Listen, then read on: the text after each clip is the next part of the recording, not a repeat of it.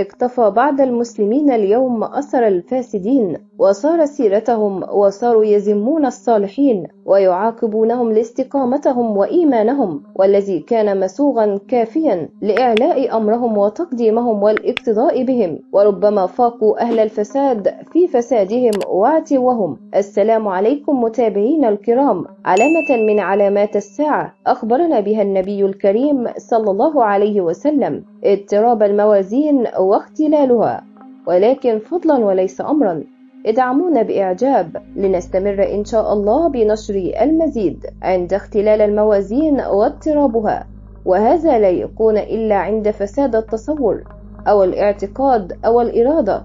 يذم الإنسان الآخرين بما ينبغي أن يمدحوا به ويمدحهم بما ينبغي أن يذموا به. وهذا لا يكون إلا في زمان غياب. أو خفوت وضعف أثر الرسالات التي أنزلها الله سبحانه وتعالى لتكون هادية للناس تخرجهم من الظلمات إلى النور بإذن ربهم. وقد سجلت نصوص الشريعة ذلك الانتكاس الذي يعتري الجنس البشري. فقال رسول الله صلى الله عليه وسلم سيأتي على الناس سنوات خداعات يصدق فيها الكاذب ويكذب فيها الصادق.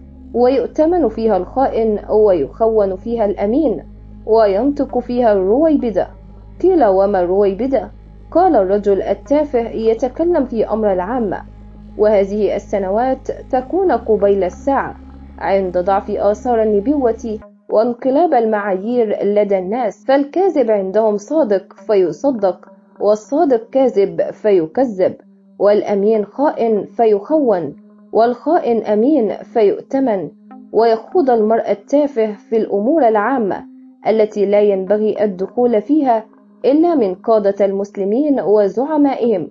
وقد سجل القرآن الكريم ذلك الانقلاب في المعايير واختلال القيم واضطرابها في أكثر من مشهد وأكثر من أمة مما يعني أن هذا عيب تصاب به النفس البشرية غير السوية عندما تبعد عن هداية الله فقد سجل القرآن نقمة الكفار على المؤمنين إيمانهم بالله تعالى وما نقموا منهم إلا أن يؤمنوا بالله العزيز الحميد فلم ينقموا عليهم مسلكا ولا تصرفا ولا فكرة بل كانت نقمتهم محصورة في تصديقهم للمرسلين وإيمانهم بما جاءوهم به وبلغوهم عن رب العالمين.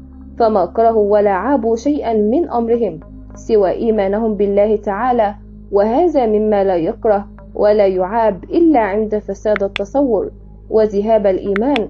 وقد آداهم ذلك إلى أن قتلوا المؤمنين وأحرقوهم بالنار بعدما خدوا لهم الأخاديد وأضرموا فيها النيران وألقوهم فيها. وأهل الفساد والضلال لا يريدون أن يتميز أحد عنهم.